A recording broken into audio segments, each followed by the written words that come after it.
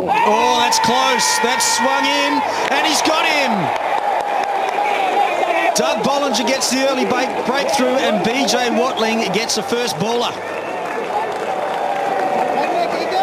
Well, should he have taken the third run after all? Uh, this, uh, this I think is out. This is this nice and full, pitching on about middle and leg, going on to hit middle and leg. Yep.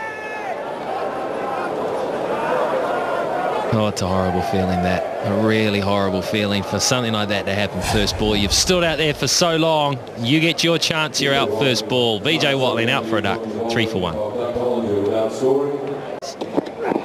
We'll change a bowler. Ow, what a catch. Marcus North at third slip. The change of bowler has worked for Australia. Dougie Bollinger has dismissed Ross Taylor. Well, this is just a little extra bounce. Yeah, change of bowler. He bowls into the wicket quite nicely, Bollinger, and he's got this one to just lifts slightly off a good length. It's the perfect length. It's a really awkward length. Just hung the bat out there. Really didn't get back and across. Exposed it the outside edge and a, and a good catch.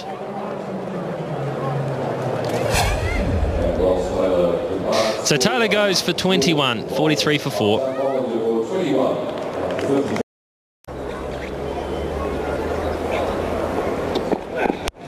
That's straight up in the air. This could be big trouble. There's two men back. Who's going to take it? Oh, it's beautifully taken by Harris. You can't keep him out of the game. And McCullum has fallen into the trap. Well, a wonderful catch in the end, and McCullum going for one of his favourite shots. There was two men back waiting for the top edge, and it nearly fell right in between, but Ryan Harris is having an excellent debut for Australia. Here it is again. Well, it might have been off the toe of the bat, in fact. And Ryan Harris, in the end, a well-judged catch. No fumbles. And Brendan McCullum's got to go 24 off 25 deliveries, but it's 148 for six. Edge and gone. Another one. Another one for Dougie Bollinger. Two in the over. An absolute beauty. Guptill drawn into the shot and New Zealand are in dire straits. Australia have got their act together real quick today.